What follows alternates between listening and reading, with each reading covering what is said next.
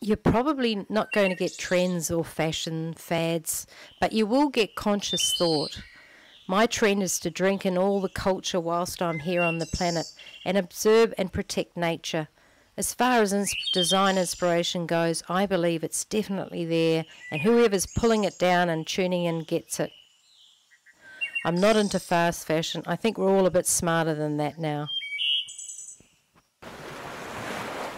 This inspiration is terra firma, the season of life, the natural world from the ground floor up. We explore the sea floor and the forest floor.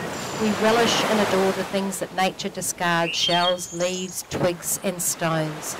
Their forms, their shadows, their shades, all reflected in our vision for our series for the new coming year. So, me, COVID means I'm going to go with my intuition.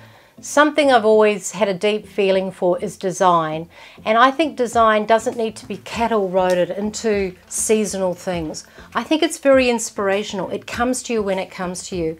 I've been explaining the series that we do in our collections, and that's for a meaningful purpose because I'm shying away from having big catalogues for spring and summer. It annoys me when I go into shops and all I see is hot cross buns in December or Christmas decorations up in July. It's inappropriate, it's commercial, and it's certainly not us. It's made me work with local artisans, which I absolutely love, come up with much more prototypes and production here in Australia, and it's made it fun again. And I'm thoroughly enjoying what I do. I feel honoured to do it. We also want to get away from um, rebelling against that capitalist, cattle class line call up of the corporate trade fairs where we all line up. I'd rather see you here, my clients. Come and see me, have a drink or a coffee, and enjoy what we do and how we do it because we have a really good narrative and we want to celebrate the earth. And for this new, inspired, organically spring fed collection, it will come in dribs and drabs. It won't come all together and pushed on you.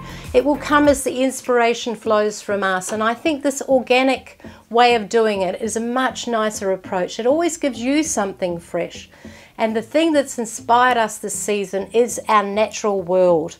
And I'm exploring the floors of the world. So I'm doing the ocean floor and the forest floor for 2021. It's all again the things that I love from nature, the discards, the shells and the sticks and the stones, and how we put those together to celebrate organic, beautiful, handcrafted items so that they can be treasures forever and ongoing in our collections will become part of the series they belong to, the family that they're birthed out of. So for me, COVID's taught me a lot of things. It's polarized people, but it's also brought people together. And for me, the artisanship and Mother Earth is a must. So we are going to keep our collections rolling with inspiration all the time.